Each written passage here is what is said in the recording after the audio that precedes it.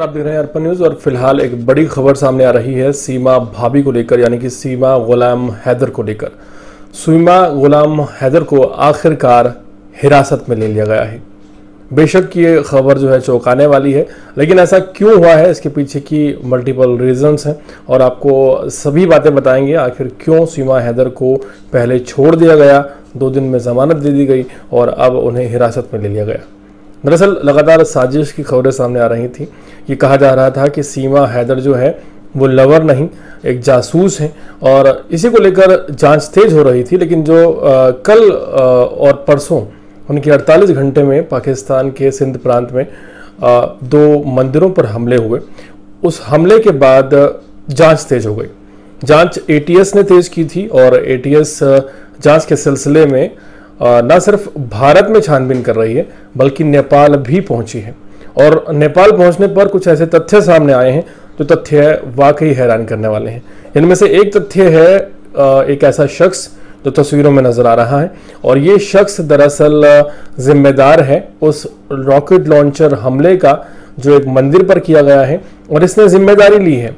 और ख़ास बात यह है कि ये वही आदमी है जो हाल फ़िलहाल थोड़े दिन पहले एक वीडियो सोशल मीडिया पर वायरल हुआ था, उस वीडियो में कहता नज़र आ रहा था कि अगर सीमा हैदर को पाकिस्तान को नहीं सौंपा गया तो फिर अंजाम अच्छा नहीं होगा और 26 ग्यारह जैसे हालात फिर से पैदा हो सकते हैं। आपको बता दें कि एक तरफ़, एक शख्स इस बात की ज़िम्मेदारी लेता हुआ नज़र आ रहा है कि उसने ही हिंदू मंदिरों को तोड़ा है। वहीं दूसरी तरफ़ लोगों में रोष है, लोगों में रोष इसलिए भी है क्योंकि एक लव स्टोरी जो कि कहीं से भी लव स्टोरी लगती नहीं है।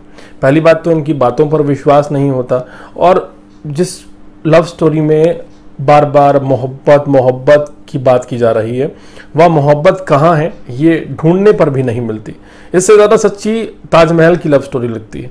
क्योंकि जिस तरह से सीमा हैदर अपने चार बच्चों को लेती हैं और भारत आ जाती हैं, अपने पति को धोखा दे देती हैं अपने देश को धोखा दे देती हैं, अपने धर्म को धोखा दे देती हैं तो मोहब्बत आखिर किस तरह की है? और मोहब्बत में इंसान कुछ ना कुछ तो स्वार्थ ज़रूर देखता है। मसलन या तो लड़का बहुत ज़्यादा स्टर्ड हो, या फिर कहीं ना कहीं लड़के के पास बेशुमार दौलत हो, या फिर लड़के के साथ कोई ऐसा टैलेंट जुड़ा हो, कोई एक्टर हो, या फिर कोई डायरेक्टर हो, या फिर कोई कलाकार हो, जो कि एक्स्ट्रा ऑर्डनरी कोई राइटर हो तो ऐसा कुछ भी आप अगर सचिन मीना को देखें तो आप उनमें नहीं पाएँगे। हाल ही में एक बयान सामने आया था सीमा का, और सीमा ने कहा था कि मेरे पति बहुत कम कमाते हैं तो मैं भारत में रहकर कोई बिज़नेस शुरू करूँगी। सीमा ने यह भी कहा था कि वो वीज़ा के लिए मांग करेंगी और वीज़ा के लिए अप्लाई करेंगी। हालाँकि वीज़ा उन्हें मिलता है, नहीं मिलता, ये बात की बात है, लेकिन हाल फ़िलहाल उनकी मुश्किलें बढ़ती हुई नज़र आ रही हैं। बिना वीज़ा के भारत आने पर सीमा हैदर पर ऑलरेडी दो चार्जेस लग चुके हैं। आईपीसी की धारा 120 बी के तहत और 1946 फॉरेन एक्ट की धारा 14 के तहत। तो यहाँ पर सचिन मीना और सीमा हैदर ऑलरेडी फंसे हुए थे। और हाल ही की जो तस्वीरें सामने आएँगी, जिन तस्वीरों को आप देख पा रहे होंगे, इन तस्वीरों में साफ़ नज़र आ रहा है कि एटीएस जो है, ग्रेटर नोएडा के उस घर में एंटर करती हुई नज़र आ रही है। सीमा और सचिन के जहाँ पर सीमा दराफल है। और यही नहीं कि आ, कुछ आ, जो सुरक्षा कर्मी हैं जिनमें एक दरोगा है दो महिला सिपाही हैं और दो पुरुष सिपाही हैं ये लोग अंदर जाते हैं सीमा हैदर के घर के अंदर और अंदर से घर को बंद कर लिया गया है। मिली जानकारी के मुताबिक ये भी कहा जा रहा है कि जिस गली से होकर मीडिया कर्मी और बहुत से यूट्यूबर्स लगातार उसके घर पर पहुँच रहे थे और तमाम इंटरव्यूज़ सामने आ रहे थे। उस गली पर भी बैरिकेडिंग कर दी गई है और सभी को रोका जा रहा है। पुलिस से पूछने पर ये बात पता चली कि ये दरअसल एक रूटीन चेकिंग है और कुछ भी नहीं है। लेकिन अचानक सीमा हैदर को यानी कि सीमा गुलाम हैदर को हिरासत में ले लिया गया है। इस बात में कोई दो राय नहीं है कि ये होना ही था लेकिन इतनी जल्दी होगा ये किसी ने नहीं सोचा था। वही मीडिया पहले आ, सीमा गुलाम हैदर को हीरो बनाकर दिखा रहा था। वही मीडिया बाद में उसे आतंकी कहने लगा, जासूस कहने लगा। हालाँकि जासूस और आतंकी पहले भी कहा जा रहा था और कई बातें हैं जो ध्यान देने वाली हैं। इसी बीच ये भी खबर सामने आई है कि जो सीमा गुलाम हैदर है, वो दरअसल अपने पति को छोड़ चुकी हैं, सचिन मीना के साथ रह रही हैं। उनसे बहुत मोहब्बत करती हैं। अपने पति के साथ जब थी तो उनसे भी ज़ाहिर है बहुत मोहब्बत करती थी, तभी उनके चार बच्चे पैदा हो गए।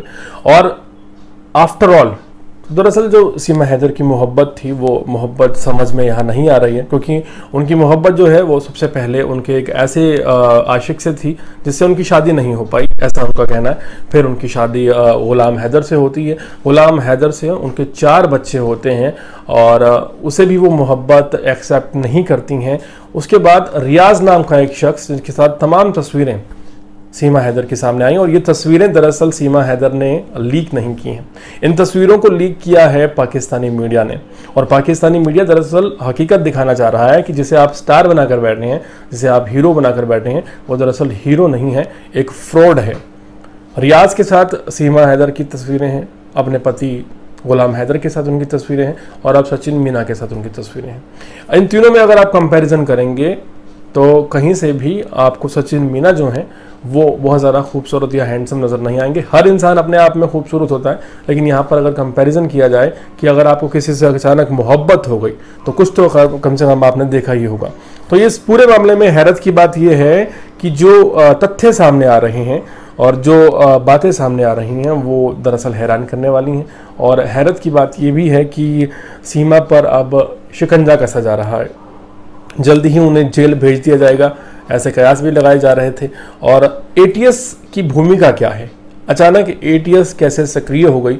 इस पर भी थोड़ी सी नज़र डालते हैं दरअसल, जैसे ही मंदिरों पर हमले की खबर सामने आई तो ये कहा जाने लगा कि कहीं ना कहीं ये वही ग्रोह है, जिस ग्रोह ने हाल ही में धमकी दी थी। और सबसे पहले मुंबई में एक फ़ोन कॉल आई थी। और ये कहा गया था कि अगर सीमा हैदर को वापस नहीं भेजा गया तो अंजाम अच्छा नहीं होगा और इसी के चलते आ, कुछ बड़ी घटना को अंजाम दिया जा सकता है। और उसके 48 घंटे के अंदर अंदर ये घटना घट जाती है।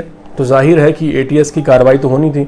और सबसे ज़्यादा चौंकाने वाली बात यह है जब आप इंटरव्यूज़ देखते हैं तो सीमा हैदर बहुत ज़्यादा खुश नज़र आती इतनी ज़्यादा खुश नज़र आती हैं इतनी ज़्यादा खुश नज़र आती हैं कि कोई भी शख्स है वो सोचने पर मजबूर हो जाएगा कि आखिर एक इंसान जो बॉर्डर लांग कर आया है, उसके ऊपर दो संगीन आरोप लगे हैं।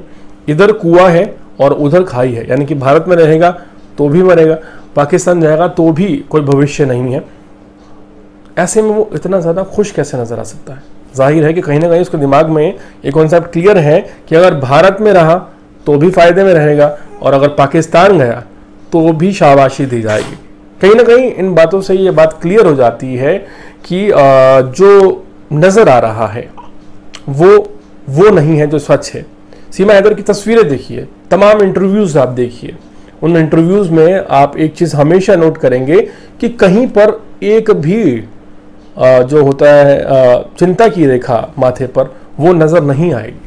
आप खुद को इस सिचुएशन में डालिए और सोचिए इमेजिन कीजिए कि आपने किसी के प्यार में तीन देशों की सीमा लांगी है, आपके पास फर्जी दस्तावेज़ हैं आप अपने बच्चों को साथ लेकर आए हैं, आपके बच्चों का भविष्य दाव पर लगा हुआ है, और आपने ना सिर्फ़ धोखा किया है, किसी इंसान की पूरी ज़िंदगी बर्बाद कर दी है, उसके बच्चों को लेकर आप भाग गए हो, आप उसके पैसे लेकर भाग गए हो, ये एक अलग अपराध है, उसका घर बेचकर आप सब कुछ ले आए हैं, उसकी इज़्ज़त तक आपने नीलाम कर दी है, और उसके बावजूद आप इतने ज़्यादा खुश हैं। तो ये खुशी कहीं ना कहीं ना सिर्फ़ पाकिस्तानियों को हज़म नहीं हो रही ये भारत को भी हजम नहीं हो रही। और इसी का नतीजा है कि जब मंदिरों पर हमला होता है तो सीधा शक की सुई जाती है सीमा हैदर पर। और सीमा हैदर को लेकर एक इंसान जो है, जो पहले धमकी दे रहा था, वही ज़िम्मेदारी भी लेता है कि हमने ही मंदिर पर लॉकेट लॉन्चर से हमला करवाया है। उसके बाद अंधाधुंध गोलियाँ बरसाई गई। उसके बाद कुछ हिंदू लोगों को गिरफ़्तार भी कर लिया गया। लेकिन वहाँ के प्रशासन और पुलिस सिर्फ़ तमाशा देखती रही क्यों देखती रही ये एक बड़ा सवाल है? हाल फ़िलहाल पूरे मुद्दे पर, पूरे मामले पर आप क्या कहना चाहेंगे? क्या सीमा हैदर को जो हिरासत में अब लिया गया है एटीएस द्वारा, ये सही किया गया है? और क्या कार्रवाई सीमा हैदर पर होनी चाहिए? और सचिन क्या कसूरवार हैं? और क्या सचिन से वाकई मोहब्बत करती हैं सीमा हैदर या सिर्फ़ उनको बेवकूफ़ बनाने का काम कर रही हैं? पूरे मामले पर आपकी जेनुअन राय क्या है ये बताना बिल्कुल ना भूलें। और इसी तरह के अपडेट जुड़े रहने के लिए देखते रहिए अर्पण न्यूज़। बहुत बहुत शुक्रिया।